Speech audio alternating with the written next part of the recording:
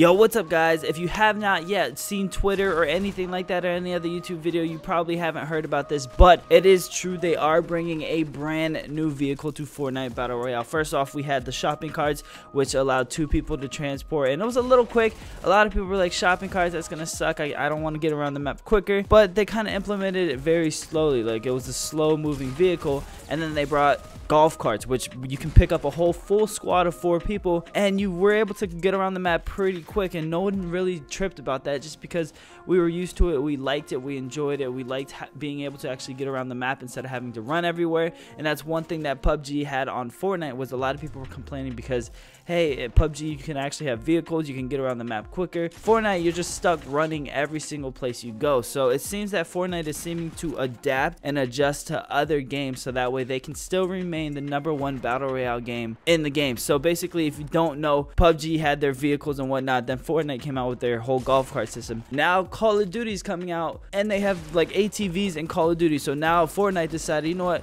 We're dropping a new ATV in the game, which is really sick because it matches the whole theme of Fortnite. It looks like it belongs in Fortnite, and it is called the Quad Crasher. So basically, charge the boost to charge, crash through structures to get some air. So basically, you can destroy structures with this thing. I mean, look at it. It's it's a freaking four wheeler with a plow in the front of it. It looks awesome. It's gonna be awesome. You're basically gonna be able to just run up to people, destroy structures. You're probably gonna be able to do damage to people. If maybe I think I don't know. We'll see. We'll see. I remember the ATV. You can't do any damage to anyone. You literally just hit them. Nothing would happen. You would hit a tree and the tree would just destroy, but it would stop you from moving anywhere. So this is gonna be a new thing coming to Fortnite Battle Royale. I'm excited to see it.